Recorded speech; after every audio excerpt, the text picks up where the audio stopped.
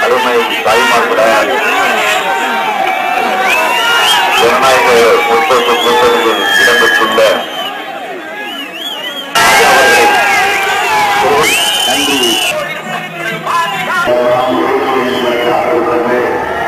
Thank.